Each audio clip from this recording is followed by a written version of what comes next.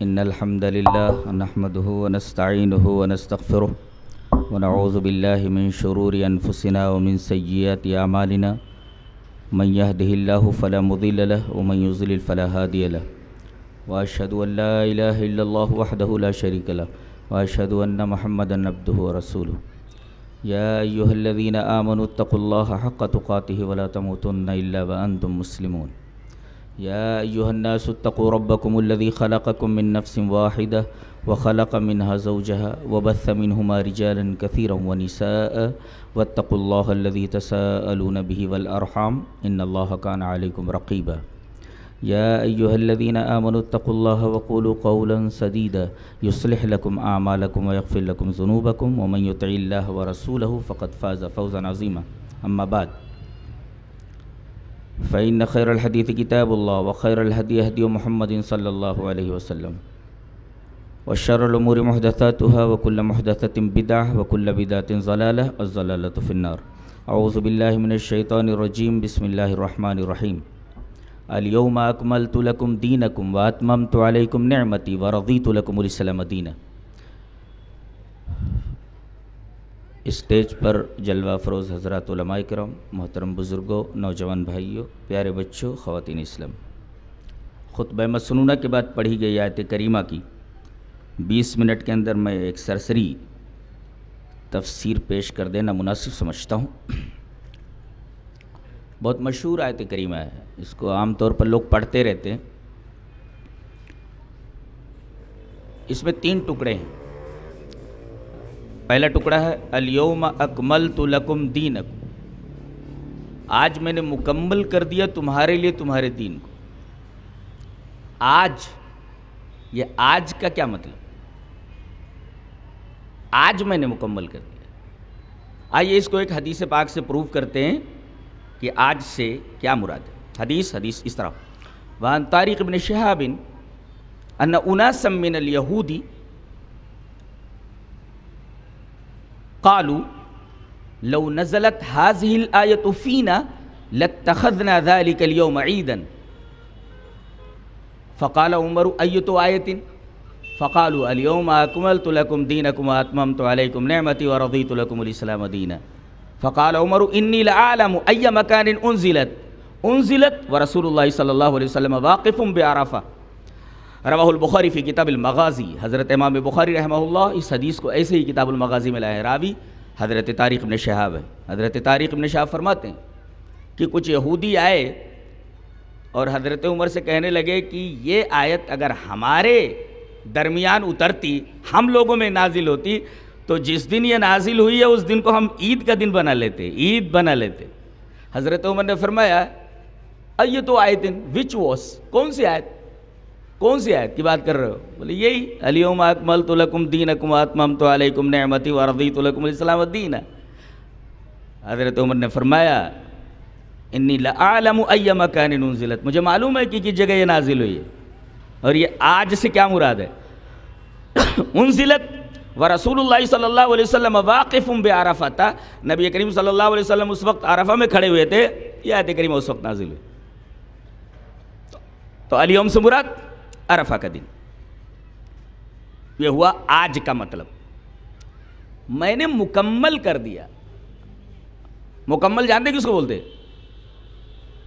To make something complete کسی چیز کو مکمل کر دینا۔ تو یہ مکمل ہوتا کیا ہے؟ کس کو کہتے ہیں مکمل ہونا؟ آئیے ایک حدیث سے پروف کرتے ہیں اس کو کہ مکمل ہونا کس کو بولتے ہیں؟ حدیث حدیث اس طرح۔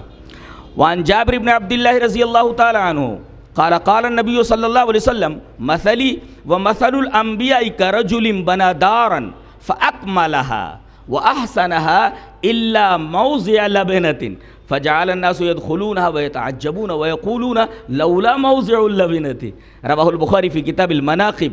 حضرت امام بخاری رحمہ اللہ اس حدیث کو ایسے ہی کتاب کتاب المناقب میں لائے ہیں، بخاری شریف میں، راوی حضرت جابر بن عبداللہ۔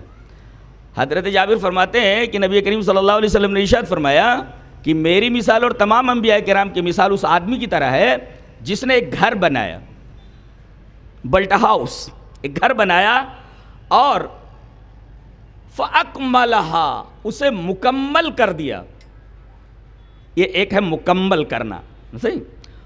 وہ اور پینٹ وغیرہ لگا لیا۔ خوبصورت بنا دیا اس کو، کون سی جگہ، کہاں رکھنی ہے، وغیرہ وغیرہ۔ اللہ موز یا لب نتن ایک اینٹ کی جگہ خالی تھی۔ مطلب ایک دیوار ہے۔ پورا اسٹرکچر انفراسٹرکچر پورا ہیکل احساسی، اس عمارت کی پورا کا پورا مکمل ہے۔ صرف ایک اینٹ نہیں ہے۔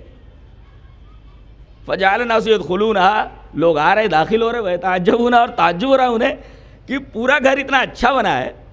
یا کامل نہیں ہے۔ گھر کے اندر کمی ہے، نقص ہے۔ اچھا کیا ہونا چاہیے؟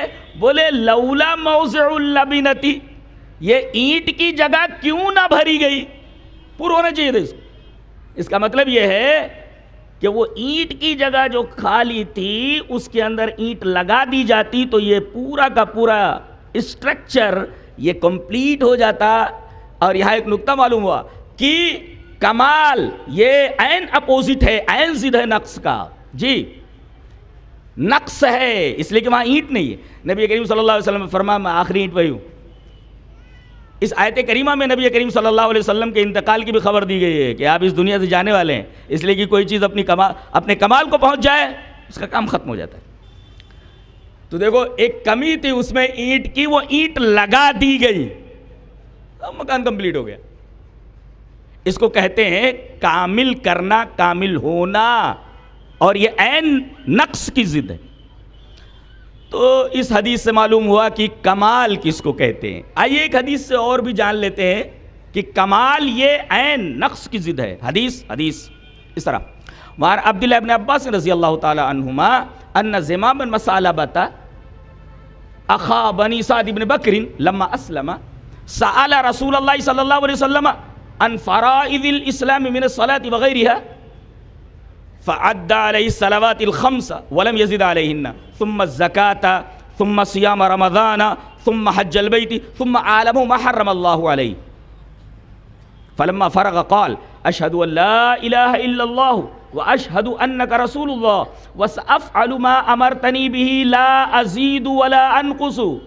قال ثم ول فقال رسول اللہ صلی اللہ علیہ وسلم این یستقز العقیصتین یدخل الجنہ رواہ احمد فی مسردی حضرت امام احمد بن حنبر رحمہ اللہ اس حدیث کو ایسے ہی مسرد احمد کے اندر لائیں زمام ابن سالبہ ایمان لائے ایک صحابی ہیں تو آئے کہا کہ اللہ کے رسول مجھے اسلام کے فرائض بتا دیجیے جیسے نماز وغیرہ ہے من الصلاة وغیرہ ہے تو آپ نے بتایا کہ پانچ وقت کی نماز ہیں فعدہ علیہ صلوات الخمسہ یہ پانچ وقت کی نماز ہیں پھر آپ نے بتایا کہ تمہیں زکوٰۃ بھی دینی ہے، اگر صاحب استطاعت ہو تو حج بھی کرنا ہے، اور رمضان کے روزے سال بھر میں رکھنے۔ پھر یہ بتایا کہ حلال کیا اور حرام کیا۔ اللہ نے تمہارے اوپر کیا کیا حرام کیا؟ بعض لوگ یہ سمجھتے ہیں کہ نماز پڑھ لینا کافی ہے، رمضان کے روزے رکھ لینا کافی ہے۔ تم عالم ما حرم اللہ علیہ۔ ہاں؟ کانٹا واٹا مار لو، چل جاتا ہے۔ نماز پڑھتے رہو۔ ثم عالم ما حرم اللہ علیہ۔ اللہ نے کیا حرام کر دیا ہے؟ وہ بھی بتایا بتلا دیا کہ یہ حلال ہے یہ حرام۔ آپ نے جب بات ختم کی، فلما فارغ قال، میں بڑا ایک باریک استدلال کرنا چاہتا ہوں۔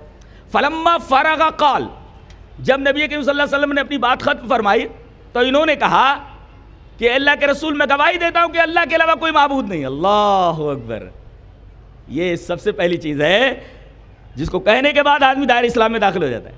اشہدو اللہ الہ الا اللہ۔ میں گواہی دیتا ہوں اس بات کی کہ اللہ کے علاوہ کوئی عبادت کے لائق نہیں۔ واشہدو انک رسول اللہ۔ اور میں گواہی دیتا ہوں کہ اب اللہ کے رسول ہے شہادت کا اقرار ہو گیا۔ بعض لوگ کہتے ہیں کہ بھئی کلمتین، یہ کلمے کی شہادتین کے مقتضیات کیا ہیں؟ تقاضے کیا ہیں؟ یہ کلمہ ڈیمانڈ کیا کرتا ہے؟ بتا دیا گیا ہے۔ میں گواہی دیتا ہوں کہ اللہ کے علاوہ کوئی معبود نہیں۔ میں گواہی دیتا ہوں کہ اب اللہ کے رسول ہے وَسَأَفْعَلُ مَا أَمَرْتَنِي بِهِ۔ یہ سین جب لگتا ہے عربی میں تو سب کو معلوم ہے کیا مفہوم دیتا ہے۔ اب آج سے مستقبل میں ہر ہر قدم پر میں آپ کے تمام احکامات کی تعمیل کروں گا۔ جو آپ حکم دیں گے میں مانوں گا۔ اس کا مطلب یہ ہے کہ لا الہ الا اللہ محمد الرسول اللہ کا عین تقاضا یہ ہے کہ نبی جو بولے چپ چاپ مانتے جاؤ۔ ہر ایک بات میں منڈی ہلاتے جاؤ۔ مانتے جاؤ۔ وَسَعَفْعَلُ مَا أَمَرْتَنِي بِهِ اب آج سے آپ جو کچھ بھی حکم فرمائیں گے، میں کروں گا۔ اب کرنا بھی کیا؟ بعض لوگ کہتے ہیں ہم لوگ کرتے ہیں۔ اچھا آگے فرما دیا گیا، کروں گا کیسے؟ لا ازید ولا انقصو نہ تو زیادہ کروں گا نہ کم کروں گا۔ دیکھیے، زیادت این نقص کی ضد ہے۔ نہ آپ گھٹا سکتے ہیں، نہ بڑھا سکتے ہیں۔ ایک گلاس پانی ہے، اگر یہ مکمل بھرا ہوا ہے تو ایک بوند بھی ڈالیں گے، باہر نکل جائے گا۔ اور اگر وہ وہاں رہے گا، اس کا مطلب ایک بوند کی جگہ خالی تھی، نقص تھا اس کے اندر کمپلیٹ نہیں تھا وہ۔ تو یہ ہے اکملتو کا مطلب اکملت۔ ابن ماجشون کا ایک قول، شاطبی کہہ لیتے، سام، ہر عالم کو پڑھنا چاہیے، پڑھتے بھی ہیں، بہت پیاری کتاب ہے، بہت لاجواب بک ہے۔ امام شاطبی رحمہ اللہ، ابن ماجشون کا قول نقل کرتے ہیں کہ امام مالک رحمہ اللہ نے فرمایا، میں پڑھ دیتا ہوں۔ قال ابن الماجشون سمیت مالک رحمہ اللہ یقول من ابتدا فی الاسلام بداتا یراها حسنتا زعم ان محمد صلی اللہ علیہ وسلم خان الرسالہ لأن الله يقول اليوم أكملت لكم دينكم وأتممت عليكم نعمتي ورضيت لكم الإسلام دينا فما لم يكن يومئذ دينا فلا يكون اليوم دينا امام شاطبی رحمہ اللہ اعتصام کے اندر یہ قول لائے ہیں؟ امام مالک ابن ماجشن کہتے ہیں کہ امام مالک رحمہ اللہ، امام دار الحجرہ فرماتے ہیں کہ جس آدمی نے دین میں کوئی بدعت ایجاد کی یراہا حسنتن اور اس بدعت کو کہتا ہے کہ یہ اچھی ہے۔ بدعت حسنہ ہے یراہا حسنتن اس کو کہتا ہے کہ یہ بدعت حسنہ ہے۔ تو زامہ اس کا خیال یہ ہے کہ نبی کریم صلی اللہ علیہ وسلم نے پیغام جو اللہ نے آپ کو دیا تھا، اس کے پہنچانے میں خیانت کیا نوز باللہ۔ انہ محمد صلی اللہ علیہ وسلم خان الرسالہ اور اللہ فرماتا ہے الیوم اکملت لکم دینکم واتممت علیکم نعمتی ورضیت لکم الاسلام دین اس کا مطلب اب دو گروہ ہو گئے. ایک تو یا لا یا کمال الدین. اعتقاد ہی نہیں رکھتا کہ دین مکمل ہے. اور ایک گروہ ہے کہ وہ اعتقاد تو رکھتا ہے کمال دین کا، مگر کمال دین کے جو مقتضیات ہیں کمال دین کے جو تقاضے انہیں پورا نہیں کرتا، یہ اہل الاحوا اور اہل البدع ہیں۔ تو یہ بدعتی حضرات ہیں کہ اعتقاد تو رکھتے ہیں کہ دین کامل ہے، لیکن اس کے جو تقاضے ہیں، اس کو پورے نہیں کرتے نکالتے رہتے، گھٹاتے رہتے، بڑھاتے رہتے۔ کتنی خطرناک بات ہے۔ یعنی نبی کریم صلی اللہ علیہ وسلم پر ڈائریکٹ الزام ہے کہ آپ نے خیانت کی ہے رسالت کے اندر۔ آپ نے پورا پیغام پہنچایا ہی نہیں۔ بدعت کی اس قباحت اور شناعت کو کوئی اگر جان لے اور سیریسلی لے لے تو کانپ جائے گا کہ یہ شرک سے کسی درجہ کم نہیں ہے۔ کتنی خطرناک بات کتنی خطرناک بات تو یہ ہوا الیوم اور اکملتو کا مطلب کہ کمال کہتے کس کو؟ دین کس کو کہتے دین، جانتے ہیں؟ آئیے ایک حدیث پڑھ لیتے ہیں، بڑی اچھی سی ہے۔ حدیث حدیث اس طرح۔ وعن البراء ابن عازب رضی اللہ تعالیٰ عنہ، عن نبی صلی اللہ علیہ وسلم فی قول اللہ تعالی، یثبت اللہ الذین آمنوا فی القول الثابت فی الحیات الدنیا وفی الاخرہ، قال فی القبر اذا قیل له من ربک وما دینک ومن نبیک رواہ الترمذی فی کتاب تفسیر القرآن۔ حضرت امام ترمذی رحمہ اللہ اس حدیث کو ایسے ہی کتاب تفسیر القرآن کے اندر راوی جیسا کہ معلوم ہوا، حضرت برا ابن عازب۔ حضرت برا فرماتے ہیں کہ نبی کریم صلی اللہ علیہ وسلم نے اس آیت کریمہ کی تفسیر فرماتے ہوئے کہا، کون سی آیت کریمہ؟ وہ جو سورہ ابراہیم کی ہے۔ کہ یثبت اللہ الذین آمنوا بالقول الثابت فی الحیات الدنیا وفی الاخرہ۔ کہ قبر میں جب دو فرشتے آئیں گے تو پہلا سوال یہ ہوگا، مر ربک تیرا رب کون؟ دوسرا سوال، ما دینک تیرا دین کیا؟ تیسرا سوال، تیرا نبی کون؟ چوتھا سوال ہے یہ نہیں۔ چوتھا کوئی سوال نہیں ہے؟ جی چوتھا سوال ہے ہی نہیں۔ یہ سوال کہتے آپ سے پوچھا جائے گا، رب کون؟ پھر پوچھا جائے گا، تیرا دین کیا؟ یہ دین ہے۔ الیوم اکملت لکم دینکم۔ یہ دین ہے جس کے بارے میں سوال کیا جائے گا۔ ٹائم ہے کہ ختم کر دیں۔ ختم کر دیتے بھائی، دوسرے علماء ہیں نا۔ ہو گیا نا؟ تو بھیا، یہ الیوم اکملتو ہے اب لکم کا کیا مطلب ہے؟ دین کا کیا مطلب ہے؟ دین کی اضافت کم کی طرف کیوں ہے؟ پھر واتمم تو علیکم، نعمتی کیوں ہے؟ اور پھر رفیت الکم علیہ السلام دینہ کیوں ہے؟ بس اللہ تبارک و تعالیٰ ہمیں اس بات کی توفیق دے کہ دین کو سمجھیں۔ اچھا وہ دین کیا ہے؟ دین اسلام ہے، برابر ہے؟ اب اسلام کا مطلب سمجھا دیتا ہوں، بات کو ختم کرتا ہوں۔ اسلام کیا ہے؟ وہ دین اسلام ہے۔ جواب دے گا کہ میرا دین اسلام ہے۔ اچھا یہ اسلام کیا ہے؟ حدیث حدیث، اس طرح۔ وعن سفیان ابن عبداللہ الثقفی رضی اللہ تعالیٰ عنہ قال، قلت یا رسول اللہ، قل لی فی الاسلام قولا لا اسأل عنہ احدا بعدک وفی حدیث ابی اسامت غیرک قال، قل آمنت باللہ فاستقم۔ رواہ مسلم فی کتاب الایمان حضرت امام مسلم رحمہ اللہ، اس حدیث پاک کو ایسے ہی مسلم شریف کتاب الایمان کے اندر لائے راوی سفیان ابن عبداللہ الثقفی حضرت سفیان ابن عبداللہ فرماتے ہیں کہ میں نبی کریم صلی اللہ علیہ وسلم کے پاس آیا اور میں نے کہا کہ اللہ کے رسول اسلام کے بارے میں بالکل ہی شارٹ، مختصر بتا دیجیے کہ اسلام ہے کیا، کہ اس کے بعد آپ آپ کے علاوہ کسی سے پوچھنے کی ضرورت نہ پڑے۔ اللہ اکبر، ایک نبی ہی بتا سکتا ہے، اسلام کی ڈیفینیشن اتنے اختصار سے۔ آپ نے فرمایا، قل آمنت باللہ فاستخم کہ آمنت باللہ بول دے اس کے بعد اسی کو اوپر جم جا۔ اس کا مطلب یہ ہوا کہ ایمان باللہ کا تقاضا، یہی اسلام۔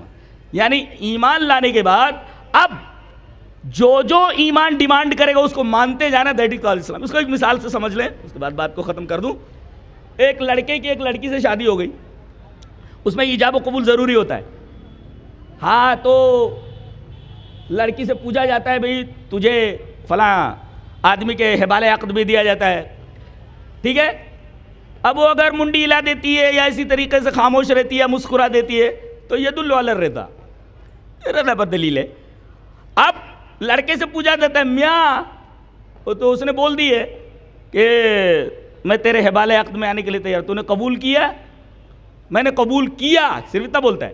میں نے قبول کیا بولتے قبل تو میں نے قبول کیا۔ اب دو چار دن کے بعد بیوی بولتی ہے، ذرا پانچ ہزار روپے دو، جیب ڈھیلی کرو۔ بولے، کیا مطلب ہے؟ پانچ ہزار؟ میں نے کہا کہا دینے کے لیے تجھے؟ میں نے تو تجھے پانچ ہزار دینے کے لیے نہیں کہا ہے کبھی کہ میں تجھے پانچ ہزار دوں گا۔ ارے، بولے، وہ جو قبل تو تو نے کہا ہے نا، میں نے قبول کیا۔